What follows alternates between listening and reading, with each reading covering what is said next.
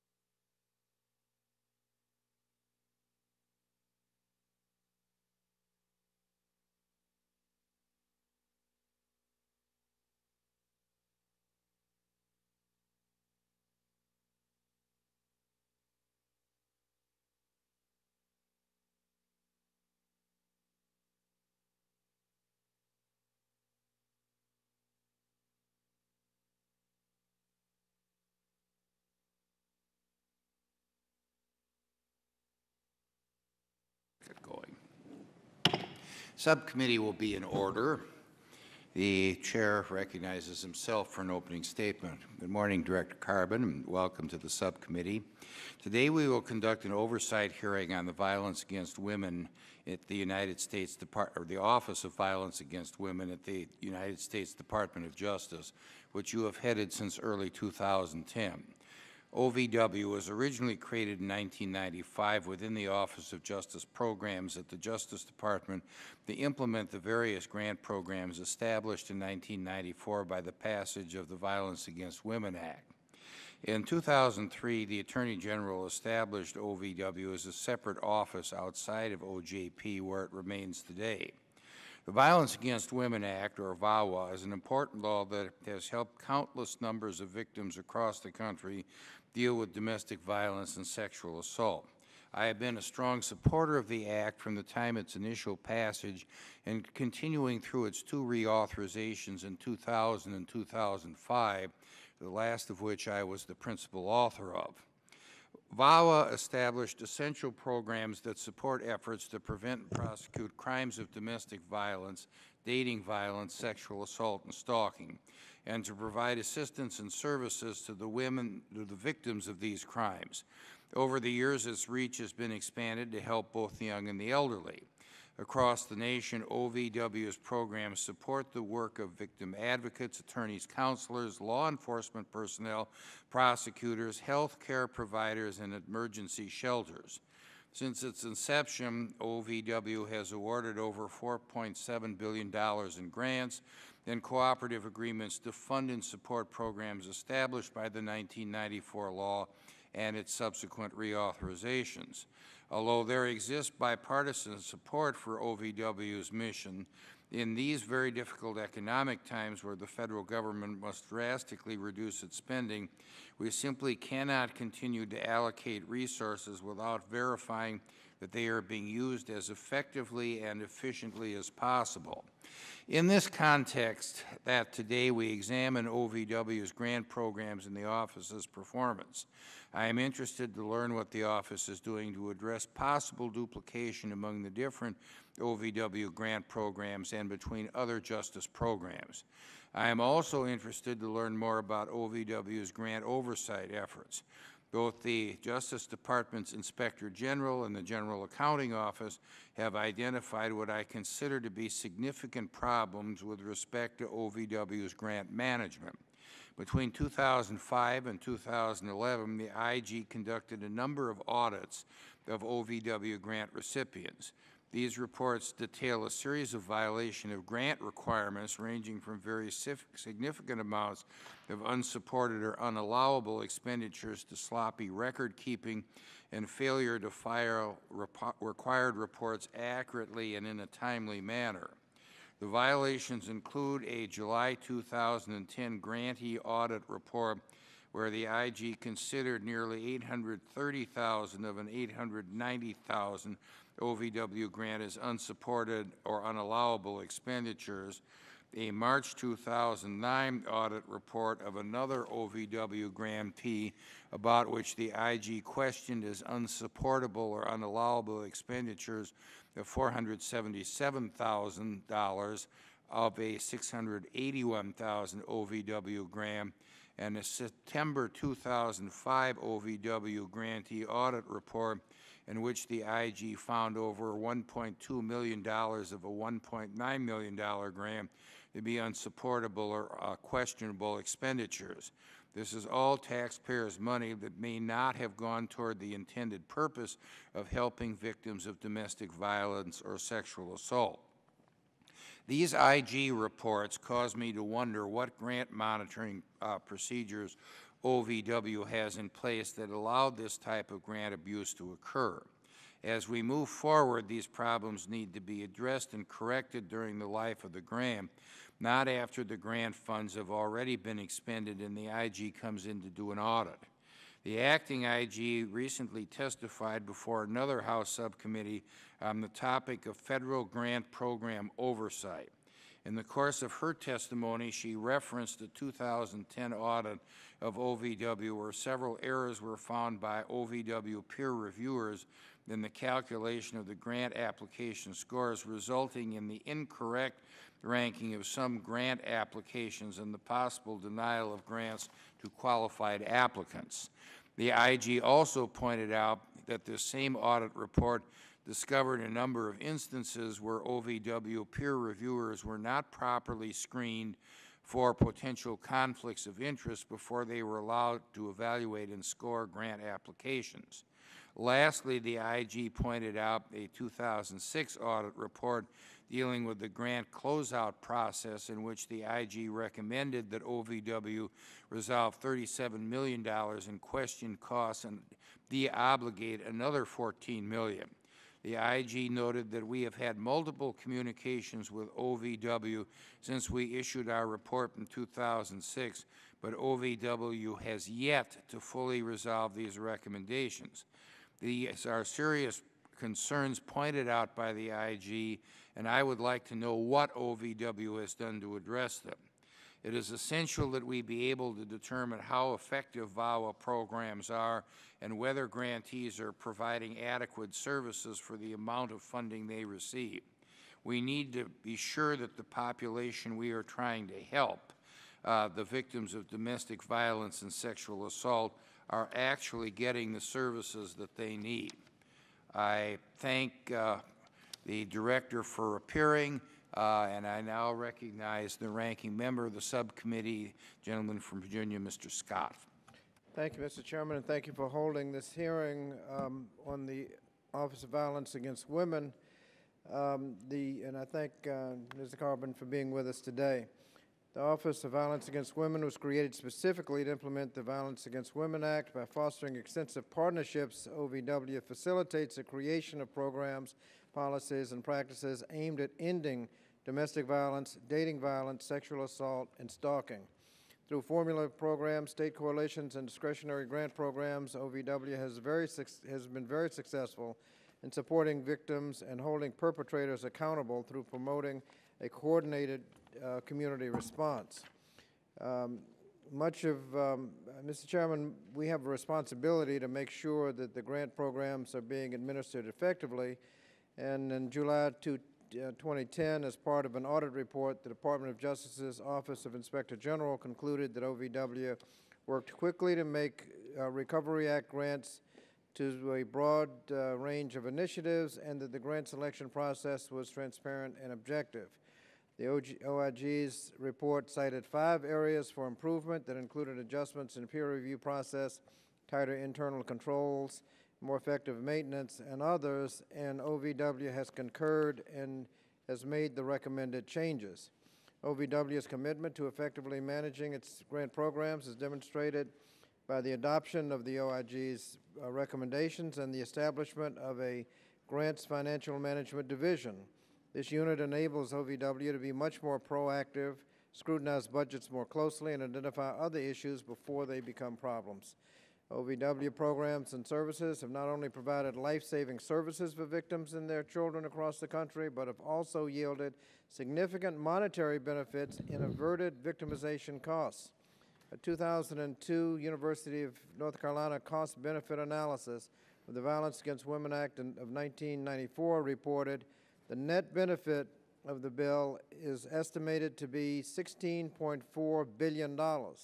Because the cost was only 1.6 billion, 14.8 billion was avert, of inadvertent victimization costs would be saved after, the implementation of the act. On an individual lev- level, the VAWA is estimated to cost about $15.50 per U.S. woman and would be expected to save over $159 per woman in averted costs of criminalization. And so this uh, shows that this is a fiscally responsible uh, program, and it's still needed. In Virginia, one out of three homicides are related to family and intimate partner violence. Domestic violence programs in Virginia are seeing an, uh, an escalation of violence, resulting in increased demand for services. According to the Department of Justice, the rate of domestic violence triples when economic strain increases. Dynamic, the dynamics that fuel domestic violence can be exacerbated by an abuser cycling in and out of uh, employment and a family's inability to pay bills and the threat of losing housing. When asked through a statewide survey of recipients of Virginia's domestic violence services, uh, several, uh, the question was asked, what would you have done if the shelter had not existed? 22% of service recipients indicated that they would have been homeless. 21% said they would have been compelled to return to their abusers, and 10% believed that they would be dead by now at the hands of their abusers. The Virginia Sexual and Domestic Violence Alliance reports that in 2009, agencies located in my congressional district responded to almost 12,000 hotline calls, provided uh, advocacy services for over 2,000 adults and 664 children, provided emergency shelter to 427 adults and 400 children, but they had to turn away 148 families in my congressional district due, due to lack of shelter. Additionally, in 2009, almost half the victims receiving advocacy services reported that they had missed time from work or school or had lost income as a result, and 28% of victims receiving services had to relocate or became homeless as a result of domestic violence. So, uh, Director Carbon, we look forward to your testimony and look forward to continuing to work with you. Thank you, Mr. Chairman. Chair recognizes the chairman of the full committee, the gentleman from Texas, Mr. Smith. Thank you, Mr. Chairman. The Office of Violence Against Women, which Director Carbon has headed since early 2010, plays an important role in our ongoing battle against domestic violence, dating violence, stalking, and sexual assault. It administers and oversees the various programs authorized by the Violence Against Women Act, also known as VAWA, and I have been a strong supporter of the Act since its enactment in 1994. The Office on Violence Against Women was last authorized in 2006. Today's hearing is the first step in the Judiciary Committee's review of VAW- VAWA and consideration of its reauthorization. The federal government faces significant long-term budgetary constraints. Agencies must get by with less. In this environment, the Office on Violence Against Women must focus its resources on its most efficient programs that allow it to accomplish the greatest good. Congress will not fund programs that are ineffective or waste money. But with that in mind, I hope the testimony today will highlight with what this legislation has allowed the office to accomplish. I also look forward to hearing uh, your thoughts, Director Carbon, on how the grant programs can be streamlined, consolidated, or even eliminated to achieve the greatest efficiencies possible. I would like to mention two examples that demonstrate how this legislation has helped many people. In February 1996, after having been authorized by the Act, the Austin, Texas-based Texas Council on Family Violence launched the National Domestic Violence Hotline. Since that time, the group has answered nearly 2.5 million calls and saved many injuries and lives. The hotline is a lifeline for victims of domestic violence and their families. Over the past 15 years, the hotline has provided victims with crisis counseling, information on legal advocacy, shelters, and health care facilities. When a victim has the courage to reach out for help, the hotline is there to guide them to a safe place and connect them to the resources they need. The National Domestic Violence Hotline is one of the most important services we can offer individuals and families who are in crisis. I'm glad to have this beacon of hope in my home state of Texas. The Bexar County Family Justice Center opened its doors in August 2005 thanks to funding from VAWA. The center currently occupies over 11,000 square feet of office space in downtown San Antonio. Today it has over 40 on and off site partners who use a local coordinated community response to deal with the problem of domestic violence and provide comprehensive service to victims. These services include assistance with law enforcement and prosecution, employment and educational services, counseling, civil legal services, child care and therapy, health care, food, clothing, and housing assistance and emergency shelter. Each client of the center has the ability to see any service provider at no charge. The center serves over 3,700 adults and 2,700 children a year. It is essential that programs like these are in place to protect victims not just from physical bruises, but from the emotional and mental scars as well. Funding through VAWA has helped women escape abuse and rebuild their lives. I hope that this hearing will bring to light ways that we can continue and improve programs through the Office on Violence Against Women. Thank you, Mr. Chairman. Yield back. Um, I thank the chairman. Uh, Without objection, all members' opening statements will be included in the record at this point. I will now introduce today's witness. Susan Carbon is Director of the Justice Department's Office of Violence Against Women, or OVW. Prior to serving as Director of OVW, she served as Supervisory Judge of the New Hampshire Judicial Branch Family Division from 1996 to 2010. Director Carbon was also a member of the Governor's Commission on Domestic and Sexual Violence and chaired New Hampshire's Domestic Violence Fatality Review Committee. She also served as president of the National Council of Juvenile and Family Court Judges from 2007 to 2008 and was the president of the New Hampshire State Bar Association in 1993 and 94. She is a graduate of the University of Wisconsin-Madison, and then she didn't stay in Wisconsin to pay income taxes to help, that helped pay for her education and left for the DePaul University College of Law. The witness's written statement will be entered into the record in its entirety. I ask that Ms. Carbon summarize her testimony in five minutes or less, and to help you stay within that time limit, you've got the blinking lights in front of you. I now recognize Ms. Carbon. Uh, Would you please pull the mic a little bit closer to you so the reporter can Great, get thank it? you. Yeah. Thank you, Chairman Sensenbrenner, um, and I will do my best to assure that taxes are paid. as they are. And uh, Chairman Smith, Ranking Member Scott, and members of the committee uh, for the opportunity to speak with you today about the work of the Office on Violence Against Women, or OVW, and the success of the Violence Against Women Act programs.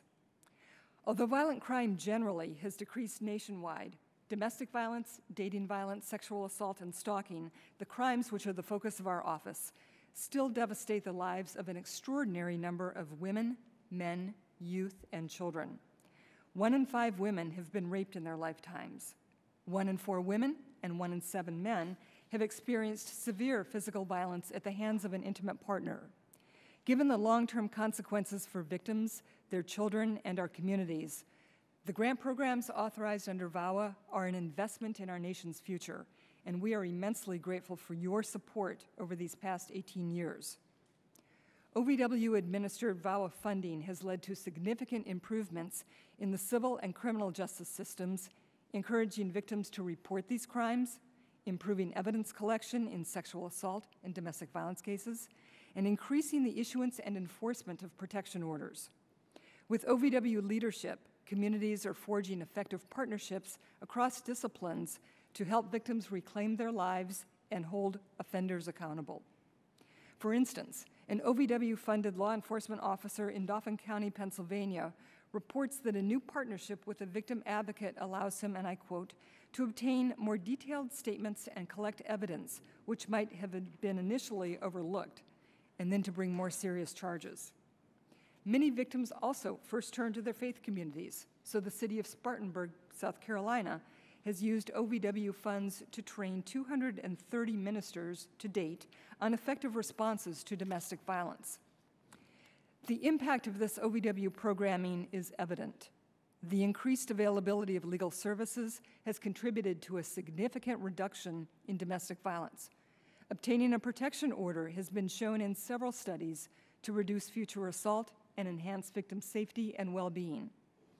Four years after Milwaukee implemented a specialized prosecution unit, felony convictions had increased fivefold. Thanks to these types of programs, FBI data show that between 1993 and 2010, the number of individuals killed by an intimate partner declined 30% for women and 66% for men. These programs not only save lives, they save money. A 2002 study found that by reducing these crimes and the subsequent costs to the criminal justice and healthcare systems, VAWA saved an estimated $12.6 billion in net averted social costs in its first six years alone. As a family court judge in New Hampshire, I saw first happened, firsthand what can happen when VAWA services, such as legal assistance and transitional housing, are not always available. Not only did I see the adults back in my courtroom, but I also saw their children in child protection cases and their teens in drug court and on our delinquency dockets. VAWA's most profound impact and outcome may be breaking the cycle of violence by reaching children and youth. We at OVW are committed to using every dollar of VAWA funding prudently. We take very seriously our grant-making responsibilities, and we are dedicated to managing our grant programs effectively and with transparency. As my written statement reflects, I have instituted several changes to our policies and practices that reflect my commitment to sound financial management. The difficult economy has brought challenges to both victims and the programs that serve them. States are struggling to keep shelters and rape crisis centers open, as well as maintain police, prosecutors, probation officers, and even judges. Now more than ever, we must invest in innovative ways to prevent violence. OVW is using the most current research to target our resources. New initiatives such as preventing domestic violence homicides and funding the Austin, Texas-based National Dating Abuse Helpline to include text messaging. Since launching that text capacity last September, the helpline has conducted over 10,000 chat and text conversations with young people in need. I cannot stress enough how critical it is for Congress to reauthorize VAWA once again and to use this opportunity to sustain and strengthen our nation's commitment and capacity to end violence against women. I look forward to continuing to work with you to improve OVW administration and our grant programs to combat sexual assault, domestic violence, dating violence, and stalking. I thank you very much for your interest in this critically important work, and I'm very happy to take your questions. Uh, Thank you very much, Ms. Carbon. I will begin by recognizing myself for five minutes. In my opening statement, um, I referred to a number of audits that had been done uh, that indicate that you know, a lot of the money and some of the grants that had been audited uh, ended up being unsubstantiated uh, or wasted. Um, that's a matter of concern to all of us on this committee because all of us support the thrust of these programs. And uh, uh, every time a VAWA reauthorization has come up, there has been overwhelming bipartisan support for it. Um, there is a cloud over the program, not in what its goals are, but in uh, how it has been administered. And what are you and your office doing to make sure that we don't have any more really awful audit reports from the IG that we have had in the past few years? Thank you, Chairman Sensenbrenner. Uh, We take this issue extremely seriously, and we have no more interest than you in seeing that there be any fraud, waste, or abuse of any federal taxpayer money. In my view, it is critically important that the funds that Congress appropriates go to the victims and to our communities to make them safer. So we have taken several steps in our office to ensure that we address these concerns and welcome the opportunity to work with you and others to shore up those. Let me give you a number of examples. The first I would begin with is that Don't we- have a long litany, because I have five minutes and I've got two follow-up questions Excellent. on that. Let me tell you that we have established our own grants financial management division, which has been able to provide great deal of expertise to our grantees. We have also looked into, it as you speak to the issue of the um, audits, we have looked into those very carefully and worked with the IG to resolve those concerns, and I'm happy to give you detail later if you wish. Uh, Could you please do that in writing and without objection? It will be included in the record. Certainly. Uh, In addition to our Grants Financial Management Division, we work with the OIG to train our new grantees to ensure that they uh, will understand what the requirements are so that they will not be in a situation where they may unwittingly make mistakes on how they report and handle all of their financial management responsibilities. We've also adopted a monitoring manual for all of our program staff to ensure that they're giving appropriate guidance and that we are collecting all of the information which the OIG has requested. Now, now, the DOJ has got an Office of Audit Assessment and Management, which is called the OAAM for short. Uh, And their job is to look at audits and figure out how to do a better job. Has the OVW uh, sought the assistance of the OAAM, and if so, uh, how successful has this been? Actually, we do work with OAM. That is a part of the Office of Justice Programs where OVW used to be. We have no interest in seeing redundancies, so we do work with OAAM when it's appropriate.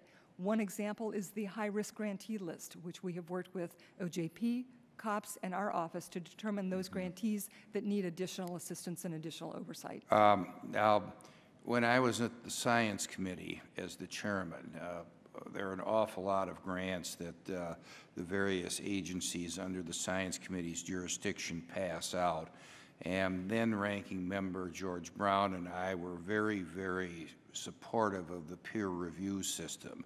In my opening statement, uh, I indicated that there have been problems with people who have been peer reviewers. Have those problems been solved, and if not, why not? Yes, they have been solved. Good. Now, the final point that's more of a macro issue uh, is concern about overlap and duplication of effort uh, with OJP and with the COPS program. And uh, I think everybody's going to have tough budget times as, as we get through the deficit problems.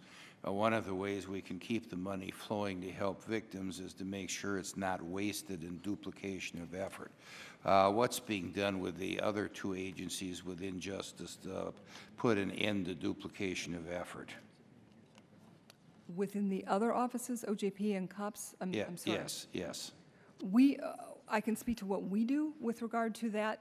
Um, Our mission is very different from the other missions.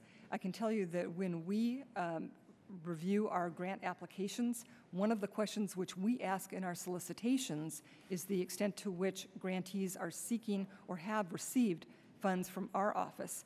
We share a monitoring list which has all of the grantees between COPS, OJP, and OVW, but specifically with regard to what the other offices may do- I would have to respond further to you because I don't have that level of detail. Okay, thank you, and without objection, that will be placed in the record as well. Gentleman from Virginia, Mr. Scott. Thank you, Mr. Chairman. Uh, Ms. Carbon, is, uh, on these audits that were uh, found deficiencies. This was not your office, but was in the grantees, is that right? They weren't auditing your office, they were auditing your grantees. Yes, they, the OIG audits our grantees. They, And that's where they found the irregularities, not in your office itself. correct. We, Now, now, what portion of the grantees are government agencies and how many are volunteer groups? I don't know that I have that breakdown. We fund state and local governments, we fund nonprofit organizations, we fund educational institutions. Well, I'm happy to get you that figure, but I apologize, I don't If, have if- that. if you could, because state and local governments ought to have enough accounting capability. Mm-hmm. But do you check the accounting capability of your potential grantees before you give them grants to make sure that they could follow through? Absolutely. That is a part of the application process. When a grantee applies, we look at their budgets, we look at their accounting practices, we look at their policies. We also continue to review that if we determine that we may award a, a grant to them, we continue to review along the way and we'll work with them throughout the course of the award as well. Now, the um, auditors have made recommendations. Did you accept and implement all of those recommendations? Almost universally, yes. And the only reason I give you a caution is that we may have a disagreement with them, and the OIG may agree that the recommendation ought not to have been made. Short of that, yes, we do work with them and resolve all issues. Uh, Generally speaking, what do you do to, for prevention, not just follow-up after domestic violence? What do you do to prevent domestic violence? We have uh, programs to address prevention. That's a, an area that we believe is critically important because if we don't begin prevention, we're never going to break that cycle of violence. Some of the prevention programs we have uh, are in our Engaging Men program and in how we work with our children's programs because we find that it's important that we are getting services earlier on so that we can begin to stem that tide. Some of our grant programs deal with that directly, others deal with it indirectly through um, intervention services. But one example would be through our new helpline. Another example is through the Child, Children Exposed to Violence program. And a third would be our Engaging Men program. Uh, Could you tell us generally why OVW needs to be a separate office, not combined with others? The Office on Violence Against Women has a very distinct mission. We are established uh, to be the to be the leading voice on responding to crimes of violence against women. And Congress recognized the importance of making a very strong statement back in 1994 when the act, when OVW, uh, when VAWA was first established, and then in 2002 when OVW was made an independent office, that the crimes of violence are incredibly important and that we recognize and give attention. When we focus and have that specialized office, we can dedicate the time and resources to it. We've recognized that it is critically important that this office focus on a whole different process than other offices within the Department of Justice do. Our mission is to address victim safety, offender accountability, and build strong communities through the coordinated community response. We don't believe that we have duplication, and we don't believe that by being separate that we are uh, in any way inefficient. And to the contrary, we believe that being independent gives us a very strong, distinct voice within the federal government, across the country, and in fact, internationally as well. And if you were combined with other, with another agency, uh, you would lose that focus? Yes, yes, Thank you, Mr. Smith. absolutely. Uh, Gentleman from Utah, Mr. Chaffetz. Uh, Thank you, Mr. Chairman. Good morning. Hi, good morning. Thank you for being here. I appreciate the work uh, that you and your staff and uh, do. It's, it's, it's very important work and, and uh, vital and makes a real difference in a lot of people's lives. Um, I just want to touch uh, briefly on a couple different topics. I wanted to, d- at- at least initially, draw your attention to these bienni- biennial uh, reports to Congress that seem to have a previous pattern, at least, of tardiness. Uh, Just wanted to get your briefest of comments on that and just a commitment that these uh, reports will be a little bit more timely. Very briefly, yes. The reports, I'm very happy to report, are now all current with the exception of one that we hope to have to you by the end of the month.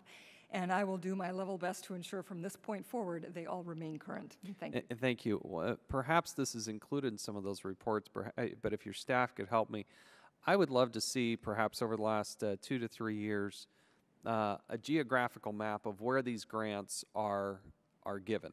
And if you could help me visually see in a synopsis form where these grants go. I, I worry sometimes that we get so diluted that you look at a big, heavy topic um, you know, you can pick probably any one of these, and we get so diffused. uh, Do we really make a difference when there's just so few dollars going here or there? I'm not saying I'm advocating more dollars, but it's a curious question to me as to whether or not more focus would be more effective, um, and then being able to spread that out. I I just like to see a geographical map of the grants over the last few years. If you could help me with that, I'd I'd appreciate it. Um, the- the, next point I wanted to make is uh, you obviously have had some concerns uh, with the amount that's spent on these conferences. I realize it's a minor portion of the budget, but it goes to the frugalness of using uh, of, of dollars. Um, I just want to, I know you're fairly new to this position, but I wanted to get your perspective on what you plan to do to help rein in. There's this one event, for instance, that there was seventy thousand dollars spent for a five-day conference attended by sixty people. It just seemed like an excessive amount of money to spend in event planning, um, and wanted to get your brief uh, comment on that. Let me respond twofold. First of all, we certainly take the issue of conference costs very seriously. Um, We have adopted within our office, and I think you'll find across the department as well, a new approval process for all of the conferences, um, so that if they're, depending upon the expense for the conference, it's a different level of review. We've also established strict limitations with regard to food and beverage, and we're also giving guidance to grantees in securing locations so that they can minimize that conference cost as well. Um, There are, th- there are some conferences and some events where you can do training very effectively and very efficiently through a webinar. But there are also some where you really need in-person training, where you're trying to change behavior, to change practice. Having FaceTime with people can be critically important to change that kind of behavioral programming. So we're very mindful and we target dollars on those kinds of events, minimize where we can. And I appreciate it. If you can help, we won't know the improvements that you make unless you tell us. And so, um, along the way, if you could share those with us, that would be important. I want to go quickly to uh, DNA backlogs. Is this something? Where within this does would that fall? Is that something that you have engaged in? I, I'm concerned about these DNA backlogs, the processing of DNA after violence. Um, there have been concerns in certain pockets of the of the country, particularly in California, where there these uh, sometimes these uh, uh, DNA samples have not been tested. The the expense for conducting these DNA tests is this something that you all are engaged in? Where would that fall within this these groups of programs? It generally falls within actually other parts of the department, but we are very concerned that when there is an act of sexual assault, that there can be a test done promptly if the victim wishes for that to be done. And I think that's one distinction that's important to make because some people are not always ready to begin and engage the criminal justice process. Uh, but there are other parts of the department that are, you know, NIJ, for example, and So why wouldn't this fall within your area of expertise? It seems something that Uh, The DNA testing itself is, um, it just happens to be how the department is allocated resources. Part of that's OVC, part of it's NIJ, um, but it certainly is a concern of ours to ensure, and in programming and policies that we have through our sexual assault services program, and as well um, through the SAFE protocol, um, it's important that we ensure that those tests be done promptly. The funding of those typically does not come out of our grant programs, though. And, and Mr. Chairman, I have last question. I'm sorry, I can't see the the the, the lights. If I hope my 10 time. seconds. Uh, Nine, eight. homicide reduction. What what can you possibly do with the four million dollars in homicide reduction? Is one of the categories here. We can do a lot. We have already, there's a lot of very good research that shows what can be done to reduce homicide through lethality assessments, through different coordinated responses, through different levels of risk intervention with victims, whether they come to hospitals or law enforcement, and how we design those programs through the reduction or through fatality review committees and other initiatives can have a significant impact on reducing domestic I homicide. think I'd like to Time learn more of the- about that. Thanks, Mr. Chairman. Time of the gentleman has expired. Gentlewoman from California, Ms. Chu. Thank you, um, Mr. Chair. Uh, well, I was once a rape crisis counselor, and um, I went to emergency rooms to advocate for rape victims. So, as you can imagine, I'm very interested in, in the reauthorization of VAWA. And I was also very interested in uh, the release of the Center for Disease Control National Intimate Partner and Sexual Violence Survey. Uh, this survey collected all kinds of detailed information on sexual violence, stalking, and intimate partner violence victimization of adult women and men in the United States, and gave a true, truer picture of violence against women and men that goes beyond the, the definition that has existed for the last decade, which was indeed a limited one. Uh, this survey uh, is the first of its kind, and it found, amongst other things, that if you include all forms of sexual violence, that one in two women have experienced uh, sexual violence, and also that one in five men have experienced a form of sexual violence other than rape in their lifetime. And I'd like to enter this uh, survey into the record. Um, well, as you know, the FBI's definition of rape was revised in December of last year. This revision marked the first update to the federal definition in nearly a century. Rape is now defined as any kind of penetration of another person, regardless of gender, without the victim's consent. How has the Office of Violence Against Women responded to this long awaited revision? Thank you, Representative. We worked very closely with the FBI to institute this change, and we were very proud that we were able to work with them in doing so. Um, we are in the process, the FBI ac- actually falls under the House of their Criminal Justice Information Services Division there. We are working with them to uh, implement the manner in which this change can actually be implemented through their data systems, and we'll continue to work with them over the spring and into the summer and then we will also be working with our technical assistance providers to give guidance to law enforcement and prosecutors and others about how to implement that change. But this was a change which we greatly welcomed and we're very proud to be a part of. Well, let me uh, ask about immigrant victims. Uh, many bel people believe that immigrant, uh, the immigrant victims provisions in VAWA uh, are in the reauthorization bill are brand new expansion, but in reality, uh, those provisions have been in VAWA since 1994. So I know that you have been implementing some of these, but I still feel that there are gaps in the service. Could you talk about what you're doing to address immigrant victims of violence, uh, of sexual violence, and what more could be done? That's an excellent question. Thank you. Uh, all of our grant programs, um, most of our grant programs, serve immigrant women, and we want to do and we continue to train on the unique needs that immigrant women face. We've also encouraged through our solicitation process that, and in fact, in particular concern this year, is that we want to make sure we are reaching underserved communities. And in many of the reports that we receive uh, of the evaluations of our programs, we find that under immigrant women are continue to be underserved.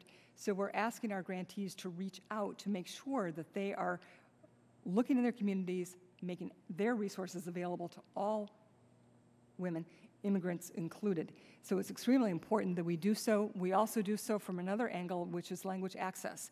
Many immigrants come to this country and do not speak English or don't speak it well, and we've worked very aggressively throughout the department, not just our office, in ensuring that uh, immigrant women can have all services in a language which they can understand so they can have full access to those services. If they walk into a courtroom and they don't understand what's happening and I or somebody else have not ensured that they have an interpreter, then I've not done my job. And we're asking our grantees to ensure that across the board they do their job. And um, I'd also like to ask about sexual assault. Uh, most of the money from the Violence Against Women Act from the first decade was dedicated to domestic violence. However, sexual assault is, of course, equally important. So please share with us what your office is doing to address uh, sexual violence. We are um, ensuring that sexual violence is addressed in all of our grant programs, or where it's appropriate for them to be, but across the board. We also are uh, instituting a number of different programs within the office, but in particular, you will be aware that the Sexual Assault Services Program, which Congress funded recently, um, is reaching communities across the country. We also have a special demonstration initiative uh, looking at sexual assault, particularly in rural and tribal communities, to shore up those resources and then develop best practices that we can spread across the country. But we are asking that all of the programs make sure that they are serving victims of sexual assault as well as victims of domestic violence, and we often find that there's a very significant overlap between the two. The time of the gentlewoman has expired. The gentleman from Texas, Mr. Poe. Thank you, Mr. Chairman. Good Thank you for being here. Uh, Director Carbon, last year I sent you a letter asking you some questions, um, and it's one page. And uh, I have received from your office, uh, Assistant Attorney General Ronald Weich, a five-page, single-space, looks like three-point font response, and you answered all my questions. So I'm not, don't want to mislead anyone thinking that I'm complaining about your response. You directly answered every question I had, and I'd like Will the gentleman yield? Yes, ma'am. Does ma'am. the Yes, sir. gentleman want to put the response in the record? I ask big unanimous response, consent to Without do so. objection. the, the letter and the response. Without objection. All right. Um, Thank you. I, I appreciate the work your office does. Uh, I'll probably shock some of my friends in that I actually believe uh, we should consider uh, expanding the role of your office and uh, uh, even financially. Um, no one likes waste, fraud, and abuse. And uh, based on the comments you responded to in the, the letter, you don't like it either, and you want to get a hold of these grants and these grant, these people who receive the grants and eliminate them from the system. Uh, I commend you on that, and keep doing it. Um, in my other life, I was down at the courthouse in Houston uh, for a long time, called it the Palace of Perjury, and I've been around so long that uh, I remember when domestic violence was treated by law enforcement as a family problem, not as a social health issue or a crime, but it's a family problem. I'm glad we have moved away from that uh, concept. Tell me about your education process of educating police officers, prosecutors, and judges on this issue. Thank you. That's a great question. And having been a former judge, I can speak from that side of the fence as well. Uh, we have a very aggressive program throughout OVW to educate all of the professionals who interface with victims of sexual assault, domestic violence, dating violence, and stalking. We do this through technical assistance with our technical assistance providers, we call them TA providers, um, by doing institutes, sometimes in-service training, sometimes technical assistance training. Sometimes it is through bringing groups together uh, as a group of law enforcement officers. Other times it's in interdisciplinary fashions because it's important that as a coordinated community response is implemented, that people understand what each other's responsibilities are. But we have a number of technical assistance providers geared explicitly for law enforcement training, as we do with judges and advocates. Uh, Speaking to the Judicial Institute, for example, we bring judges from around the country together, bring in law enforcement officers, we bring in other judges, we bring in psychologists, we bring in um, a host of people to educate judges about how to better respond and to understand the dynamics that are involved. That same process of institute development is done with other professions as well. But there may be occasions where we will send a technical assistance provider directly to a law enforcement agency to work with that unit in their home turf. It's not necessarily always at a big conference, and I want to make sure that's very clear. We work you know, one-on-one as needed. Uh, A couple of quick questions. There, there are those who claim that um, this legislation um, demands and requires mandatory arrests. That is just not true, is it? No, that is not true. It's a state-by-state issue, and uh, so that's, that's just another myth about uh, VAWA. Is that correct? It is, it does not require mandatory arrest. However, we do ask, because it is through the arrest program, so if there's a grantee for that program, they certify that they have policies or procedures or laws in place that would encourage mandatory or uh, encourage arrest, but only upon probable cause that an arrest should be made. When a crime has been committed? Right. Uh, Or and probable so cause of crime is committed? That, that is often lost. in the- The, um, the title, uh, Violence Against Women Act, uh, it, it also deals with uh, males, does it not? It absolutely does, yes. Um, And there's the same services are uh, provided under the, the act in your office that help men, and that's violence uh, against men as against women, is that correct? That's correct, yes. Uh, Is, is there any reason, in your opinion, to change the name of the act? No, there is no reason to. And so, uh, uh, let me ask you one other question. D- Talking about dealing with judges, you're familiar with Yvette Cade from Maryland, domestic violence victim who a judge didn't give her a restraining order she asked for against her husband, and so he came into her business and literally set her on fire. Um, wonderful lady. Uh, and we're not talking about statistics here. We're talking about real people that are hurt by others who claim they love they, they, they love these people. Um, in your education of judges, do you talk about the use of uh, restraining orders and uh, items to keep people separated until a divorce is pending? Uh, do you talk to judges about that? We absolutely do. In fact, I personally was involved in chairing a national effort to develop a guide on the issuance and enforcement of civil protection orders. So I have both a great personal as well as professional interest in seeing this. We do educate judges all across the country on this and continue to do so. Time of the gentleman has expired. The gentleman from Georgia, Mr. Johnson. Thank you, Mr. Chairman. Uh, Ms. Carbon, thank you for appearing before the committee today. I appreciate the work that you do with the Office of Violence Against Women, uh, the services that you provide to respond to domestic violence and sexual assault are vital. Because of your work, hundreds of thousands of victims have been served and thousands of arrests have been made. So I want to thank you for your diligence. Uh, I am heartened by the remarks of uh, my colleague Judge Poe uh, in terms of his understanding of the fact that there is a problem and he understands the extent of the problem and he even uh, understands uh, the fact that the federal government uh, has an interest and a role to play uh, in that regard as far as funding is concerned. And so I wanted to ask you a couple of questions. Uh, number one, uh, I know that there have, have been some oversight hearings uh, on the other side uh, of uh, the Capitol about this program, and um, there have been, uh, I think Senator Grassley argued that in terms of VAWA reauthorization, he argued that during these difficult economic times, we simply can't continue to allocate resources without verifying that the resources are being used effectively and efficiently as possible, uh, kind of uh, throwing a little cold water on the efforts of, uh, of your group. And I know we are in a fiscally uh, very conservative time right now.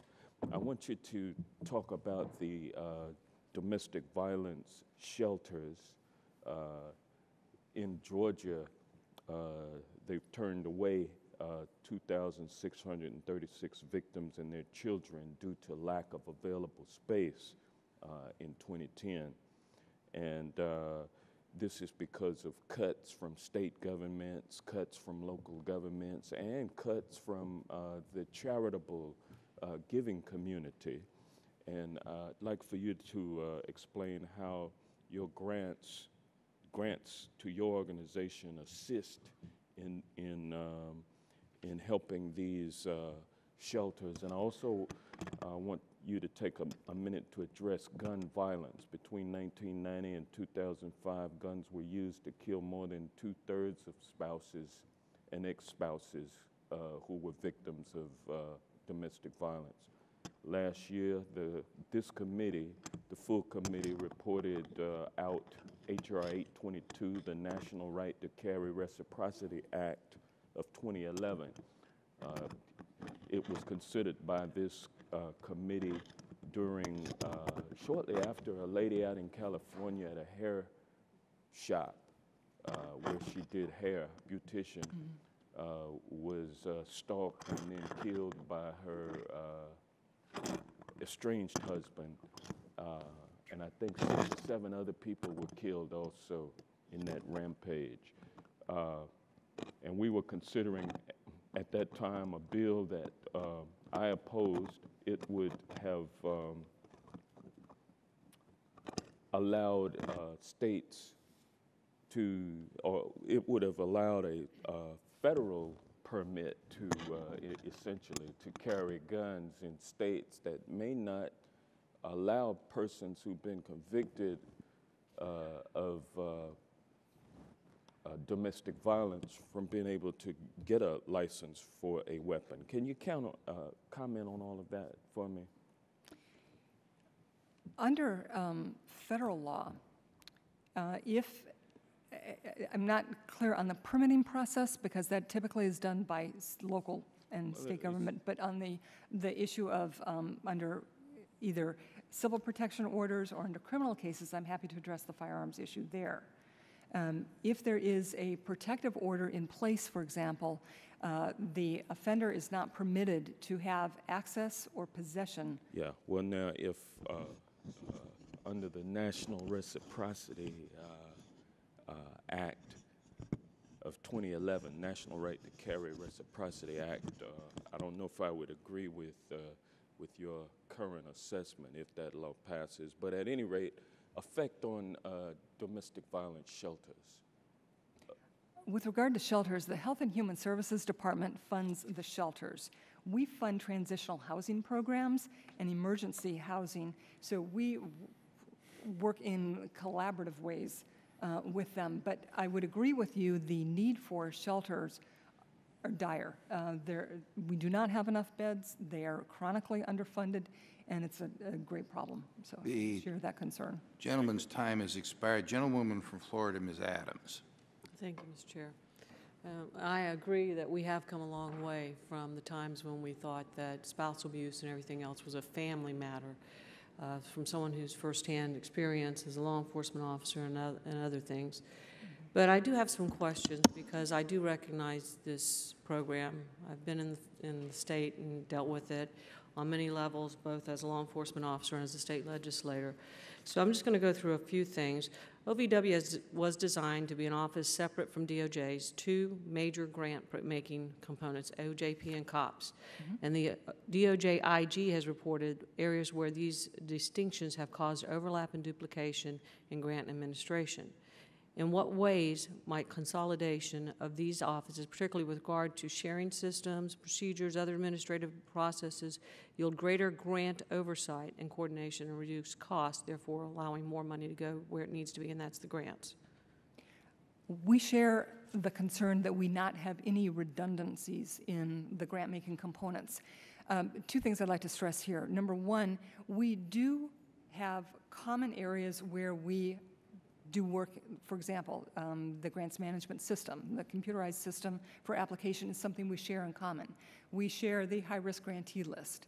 Um, There are a few other things, but by having our own grants financial management division, I think this is critically important, we believe we can provide a better service to the grantees because of having more specialized staff, more specialized training, and more specialized technical assistance, so that indeed the grantees can be using the funds as you all intend that they be.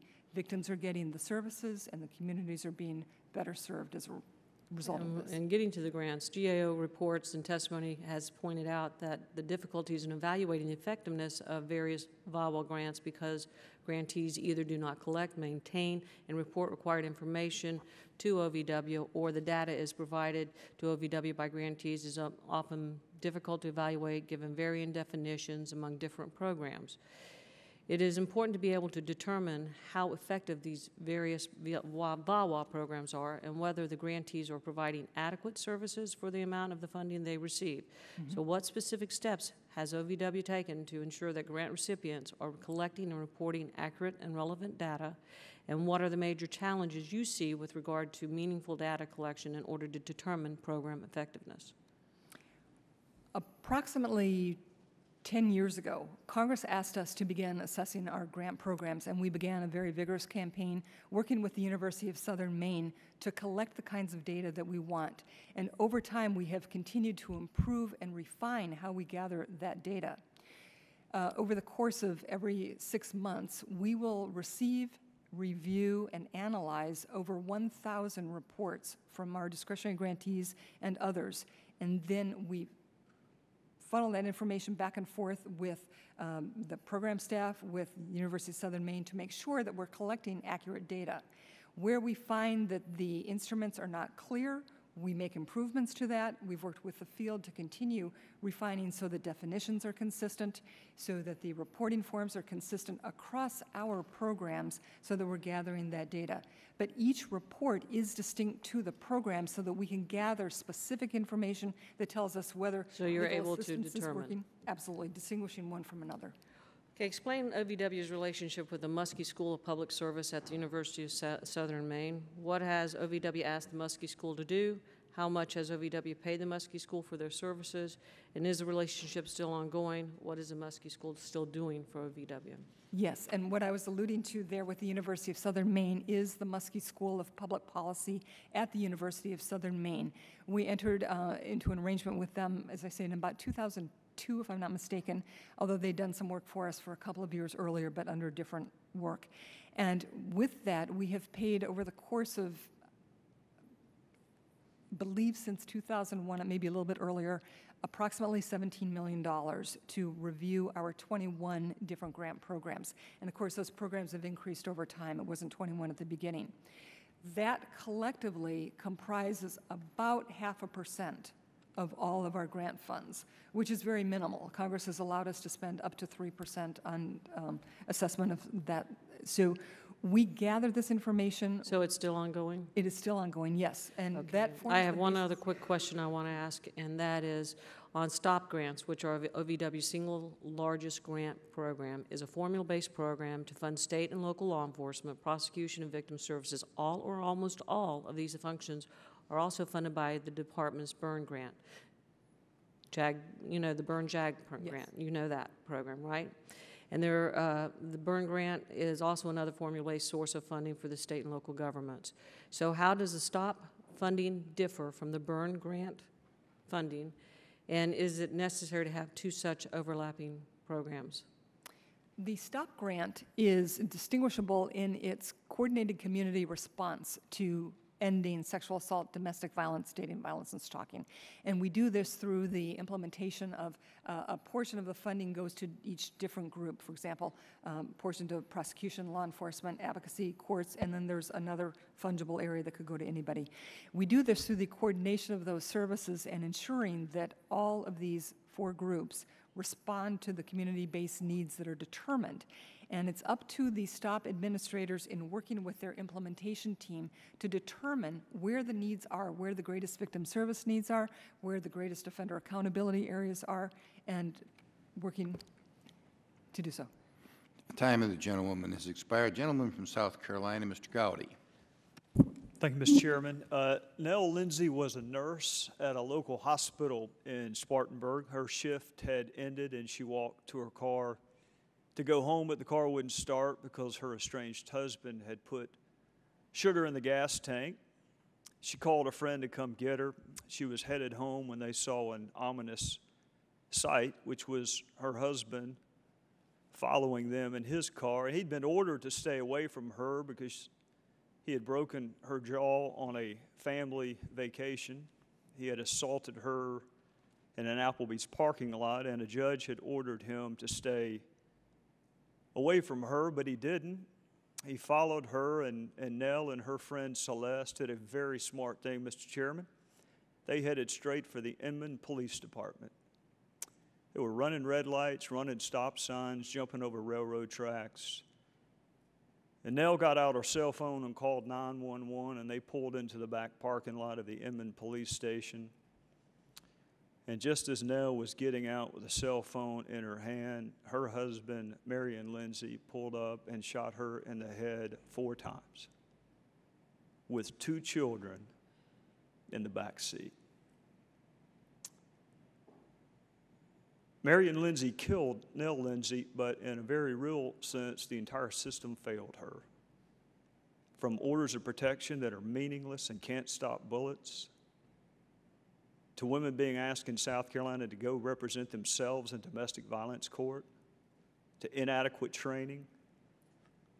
So Lynn Hawkins, through grants, Mr. Chairman, through grants, transformed our approach to violence against women training law enforcement, training prosecutors, training magistrate judges, training pastors to view domestic violence as a crime and not a family matter.